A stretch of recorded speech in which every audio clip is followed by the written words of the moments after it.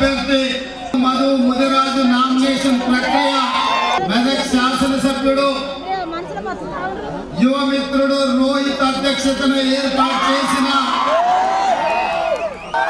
మా సోదరిమణి కొండ సురేఖ గారు మా మిత్రుడు పొంగులేటి శ్రీనివాసరెడ్డి గారు మీ అందరి అభిమాన నాయకుడు జగ్గారెడ్డి గారు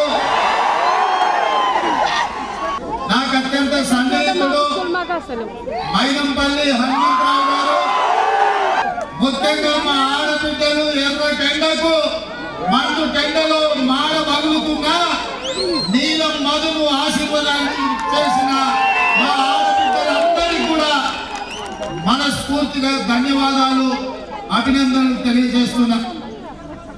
మిత్రులరా ఈ మెదకు గడ్డ మీద ఈ ఛత్రపతి శివాజీ సాక్షిగా శాసనసభ ఎన్నికలలో ఏఐసిసి అధ్యక్షుడు మల్లికార్జున్ ఖర్గే గారు నేను మైనంపల్లి హనుమంతన్న ఇక్కడికి వచ్చి మా యువ మిత్రుడు రోహిత్ నామినేషన్ ఎప్పుడైతే ఏపించినామో ఈ రోజు కూడా మళ్ళా ఇక్కడి నుంచే ఛత్రపతి శివాజీ సాక్షిగా మేమందరం వచ్చి నీళ్ళ మధు నామినేషన్ ఇక్కడ ఏపిస్తుంటే వేలాదిగా మీరు వచ్చి అండగా నిలబడి ఒక బలహీన వర్గాల బిడ్డను మెదకు గడ్డ మీద కల్పించడానికి మీ ఉత్సాహం మీ ఊపు నాకెంతో సంతోషాన్ని నమ్మకాన్ని కలిగించిందని తెలియజేస్తున్న ఈ మెదగడ్డకు ఒక చరిత్ర ఉన్నది. ఈ దేశంలోనే కాంగ్రెస్ పార్టీ కష్టాలలో ఉన్నప్పుడు ఇందిరాగాంధీ గారికి పంతొమ్మిది వందల ఎనభైలో మీరు అండగా నిలబడి ఈ మెదకు గడ్డ మీద మూడు మూడు రంగుల జెండాను ఎగరేసి ఇందిరమ్మని గెలిపిస్తే ఈ దేశానికి ఇందిరమ్మ ప్రధానమంత్రి అయి ఈ మెదకు ప్రాంతానికి బిహెచ్ఎల్ తీసుకొచ్చింది బీడీఎల్ తీసుకొచ్చింది ఐడిపిఎల్ తీసుకొచ్చింది. ఇక్రిసాట్ లాంటి పరిశ్రమలు తీసుకొచ్చింది ఆ పరిశ్రమలు రాబట్టి ఈ మెదకు ప్రాంతం ఆనాడు కరువు కాటకాలతో ఇక్కడి రైతులు అల్లాడుతుంటే లక్షలాది ఉద్యోగాలు ఈ ప్రాంతానికి వచ్చి ఉద్యోగ ఉపాధి అవకాశాలు పెరిగి ఈ ప్రాంతం దేశంలోనే అభివృద్ధి చెంది ఇవాళ ఈ మెదక్ ప్రాంతం దేశం నలుమూల నుంచి కార్మికులు ఇక్కడికి వచ్చి ఉద్యోగ ఉపాధి అవకాశాలు పొందుతున్నారు. ఇవాళ దేశంలో ఏ రాష్ట్రం వాళ్ళైనా బెంగాల్ కావచ్చు బీహార్ కావచ్చు ఉత్తరప్రదేశ్ కావచ్చు రాజస్థాన్ కావచ్చు మధ్యప్రదేశ్ కావచ్చు ఛత్తీస్గఢ్ కావచ్చు జార్ఖండ్ కావచ్చు మహారాష్ట్ర కావచ్చు కర్ణాటక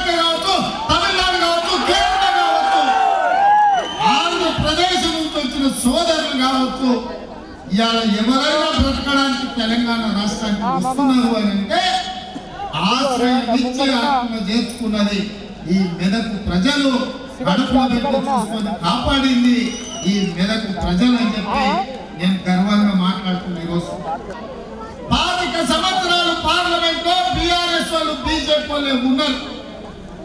నేను ఇవాళ ఈ జిల్లాలో ఉండే యువకులను రైతులను నిరుద్యోగ యువకులను నేను అడుగుతున్నా. మిత్రులారా ఆనాడు ఇందిరమ్మ తెచ్చిన పరిశ్రమలు తప్ప తీశాను అంతే. పిహెచ్ఎల్ కావచ్చు పీడిఎల్ కావచ్చు డైనమిక్ ఫ్యాక్టరీ కావచ్చు ఈక్రిసైడ్ కావచ్చు ఈ ప్రాంతంలో వచ్చిన వేలాది పరిశ్రమలు ఆనాడు ఇందిరమ్మ తెచ్చినవే కదా. పదేళ్ళు ఈ ప్రాంతంలో ముఖ్యమంత్రిగా ఉన్న చంద్రశేఖర్ రావు ఆర్థిక మంత్రిగా ఆరోగ్య శాఖ మంత్రిగా వివిధ శాఖల మంత్రులుగా ఉన్న ఆయన అల్లుడు హరీష్ రావు గారి మెదక్ ప్రాంతానికి మనం తీసుకొచ్చేదాన్ని నేను అడుగుతున్నాను నేను అడుగుతున్నా. రెండు వేల పద్నాలుగు నుంచి ఇరవై నాలుగు వరకు ముఖ్యమంత్రిగా మంత్రులుగా కొత్త ప్రభాకర్ పార్లమెంట్ సభ్యుడుగా ఈ ప్రాంతానికి పరిశ్రమలు తెచ్చిందా? ఈ మెదక్ ప్రజలు ఏమన్నా బాగుపడ్డారా అని నేను అడుగుతున్నా. మరి ఇలా మళ్ళీ సిగ్గు లేకుండా బీజేపీ పిఆర్ఎస్ మాకు ఓటు వేయండి. మేము ఎలగబెడతాం మీ ఆకిలు అనుకుతాం మీకు ముగ్గులు వేస్తాం మీ ఇల్లు చక్కదిద్దుతామని అబద్ధాల మాటలతో బయలుదేరి. నేను అడుగుతున్న మెదకు పార్లమెంట్ సభ్యుని మెదకు బీజేపీ నుంచి నిలబడుతున్నా రఘునందన్ రావు నేను అడుగుతున్నా. దుబ్బాకలో నువ్వు చెప్పినావు కదా ఎమ్మెల్యేగా గెలిపిస్తే నరేంద్ర మోడీతో కొట్టాలి వేల కోట్ల రూపాయలు తీసుకొచ్చి దుబాకలు అభివృద్ధి చేస్తాను కదా. మేమందరం దుపాకకు బస్సులు వేసుకొని వస్తాం. నువ్వు తెచ్చిన నిధులేందో నరేంద్ర మోడీ ఇచ్చిన పరిశ్రమలేందో దుబ్బాకలో ఇవాళ ఎమ్మెల్యేగా దుబ్బాకలో అక్కడి ప్రజల్ని అక్కడి రైతులను వంచిస్తే ఆ ప్రాంత ప్రజలు తిరస్కరించిన రఘునందన్ రావు మళ్ళీ అంగు మార్చి రంగు మార్చి మెదకు పార్లమెంట్తో ఓట్లేయమని అడుగుతున్నాడు. నేను అడుగుతున్న రఘునందన్ రావుకు ఓటేసి ఒకవేళ ఎంపీ అయితే నరేంద్ర మోడీ ప్రధానమంత్రి కాకుండా చంద్రమండలానికి ఏమైనా రాజు అవుతాడా ఈ పదేళ్ళు నరేంద్ర మోడీ ప్రధానమంత్రి ఉన్నాడు కదా. ఈ మెదక్ ప్రాంతానికి ఒక్క పరిశ్రమ అయినా ఇచ్చిందా అని చెప్పి నేను బీజేపీ నాయకులను అడుగుతున్నా. అందుకే మిత్రులారా వాటి చూసిండు వీటి చూసిండు జెండా మార్చినా ఎజెండాలు మార్చినా వీళ్ళిద్దరు తోడు దొంగలే గూడు పుటానే అయితే వాడు కాకపోతే ఈ పీడిస్తున్నారు తప్ప ఇందిరమ్మ కాలంలో తెచ్చిన పరిశ్రమలు ఇవాళ లక్షలాది మందికి ఉద్యోగ ఉపాధి అవకాశాలు వచ్చినాయి తప్ప ఇవాళ వాళ్ళ వల్ల అయ్యిందేం లేదు. నేను గుర్తు చేయదలుచుకున్న ఈ ప్రాంత ప్రజలకు ఆనాడు పంజాబ్ తీవ్రవాదుల చేతుల్లో తుపాకీ తూటాలకు బలయ్యి చివరి రక్త పట్టు వరకు కాలపోసి నేల కొరిగిన ఇందిరమ్మ నేల కొరిగినాడు ఈ మెదకు పార్లమెంటు సభ్యురాలుగానే చివరి శ్వాస వదిలిండ్రు. ఈ సంగతి మరవద్దు మెదకు ఆనాడు మీరు మీ రక్తాన్ని చెమటగా మార్చి ఈ మూడు రంగుల జెండాను మీ భుజాల మీద మోసి ఇందిరమ్మను పల్లకిలో పార్లమెంట్ పంపించింది కాబట్టి ఇందిరమ్మ ఈ దేశానికి ప్రధానమంత్రి అయింది. మెదకు జిల్లాకు వేలాది పరిశ్రమలు వచ్చినాయి లక్షలాది ఉద్యోగాలు వచ్చినాయి. ఈ ప్రాంతం అభివృద్ధి పదవైపు నడిచింది. కానీ నరేంద్ర మోడీ ప్రధానమంత్రిగా కల్వకుర్తి చంద్రశేఖరరావు ముఖ్యమంత్రిగా మనకు ఏకాన ఇచ్చింది లేదు. ఈ ప్రాంతాన్ని అభివృద్ధి చేసింది లేదు. అధికారుల కేసీఆర్ నౌకరు పోయి నడుము ఇరిగి పార్టీ ఓడి ఏం చెప్పాలో తెలియక పిట్టల ద్వారా ఇంట్లో కూర్చొని పిలిపించుకొని భజన సంఘం ముందర ఇవాళ కాంగ్రెస్ పార్టీ అయిపోయింది అంటుండు. ఎట్లా అయిపోతుంది బిడ్డ? అది ఉన్న ఫుల్ పార్టీ ఆ పోయంగానే కాంగ్రెస్ కారు అవుతుంది ఇరవై మంది టచ్లు ఉంది అంటుంది ఎట్లయితే అది రెండు లీటర్ల ఫుల్ పార్టీలు అనుకుంటున్నా ఇరవై పెక్కులు వేస్తే ఖాళీ అంటే ఈయన కాపలా ఉన్నదే ఉన్నదెవడు బిడ్డ. చాలియా? ఇస్తావా బిడ్డ. చూడు ఐటెన్షన్ వైద్యుల కాకి రఘుకి ఎట్లయితుందో చెయ్యి ఈ నువ్వు అనుకుంటున్నావేమో.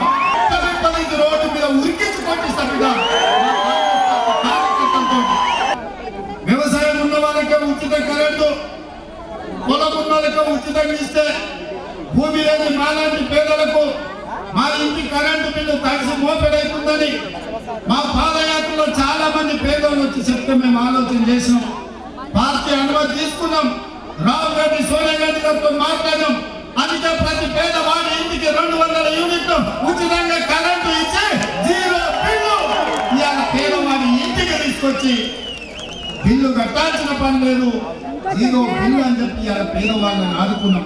మా రెవెన్యూ మంత్రి మా హౌసింగ్ శాఖ మంత్రి పొంగులేటి శ్రీనివాసరెడ్డి గారి నేతృత్వంలో ప్రతి నియోజకవర్గానికి మూడు వేల ఐదు వందల ఇల్లు రాష్ట్రంలో నాలుగు లక్షల యాభై వేల ఇల్లు ఇరవై రెండు వేల ఐదు వందల కోట్ల రూపాయలతో పేదవాడికి ప్రతి ఇంటికి ఐదు లక్షల రూపాయలు ఉచితంగా ఇచ్చి మీ ఆత్మ గౌరవం నిలబెట్టడానికి మనం పథకం ప్రారంభించుకుంటే పేదోడికి సొంత ఇల్లు వస్తే వాళ్ళ ఇంటి ముందర కాలు మీద కాలుసుకొని కుర్చీలో కూర్చుంటాడని కక్ష కట్టి కాంగ్రెస్ ఓడగొట్టి ఆ ఇచ్చే ఇల్లు రద్దు చేయాలని ఢిల్లీ నుండి మోడీ గజ్వేల్లో ఉండి కేడీ కుట్ర చేస్తున్న మాట ఇక్కడ ఉన్న యువకులకు నేను చెప్పదలుచుకున్నాను రైతు రుణమాఫీ ఎప్పుడు చేస్తామని నేను ఈ వేదిక మీద నుంచి తెలంగాణ రాష్ట్ర రైతాంగానికి మెదకు చర్చి సాక్షిగా ఏడు పాయల దుర్గమ్మ సాక్షిగా నేను మాట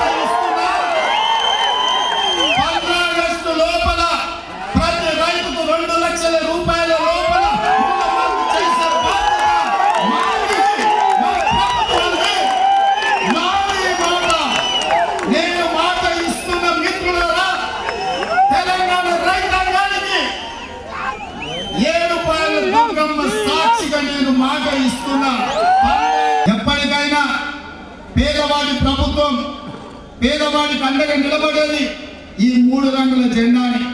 ఈ మూడు రంగుల జెండాని నమ్ముకున్నోడు పాడైనోడు ఎవడు లేడు. మూడు రంగుల జెండా అండగా ఉంటే ఏదైనా ఛేదించవచ్చు అందుకే నా ముదిరాజు సోదరులకు నేను ఒక మాట చెప్పదలుచుకున్నా. ముదిరాజు బిడ్డలారా మీరు ఆలోచన చేయండి.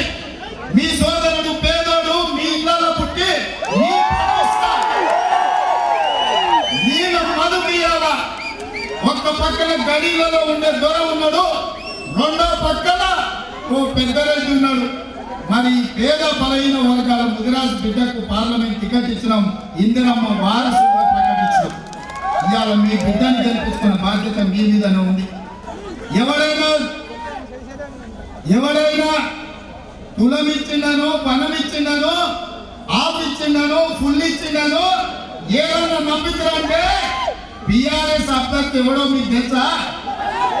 మల్లన్న సాగరంలో యాభై వేల ఎకరాలు ముందుకొని ఏటిగడ్డ కృష్ణాపురం మల్లన్న సాగర్ ప్రాంతంలో పేద రైతులను గోదావరి జలాలలో ముంచి పోలీసు ఉక్కు పాదాలతో తొక్కించి పోలీస్ స్టేషన్లో ఆడపిట్టలను కొట్టించి మీ మీద దాడులు చేసిన దుర్మార్గుడే ఇవాళ టిఆర్ఎస్ అభ్యర్థి.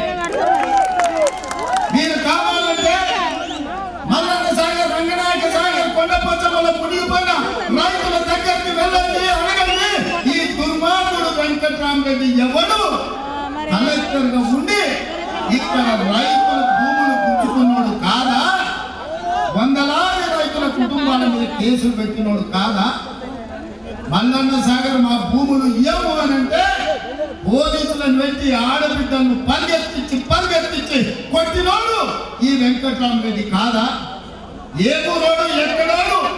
ఎక్కడికి వచ్చిందో ఇక్కడ ఎంపీ కావాలనుకుంటుందో ఆలోచన మిత్రులారా ఇంకా నాలుగున్నరేళ్ళు ప్రభుత్వం ఉన్నది కాంగ్రెస్ ఉండదు ఆ తర్వాత మల్లొక్కసారి ప్రజల ఆశీర్వాదంతో ఇంకో ఐదేళ్ళు మొత్తం పదేళ్ళు అధికారంలో ఉంటాం మీ సమస్యని పరిష్కరించే బాధ్యత మాది.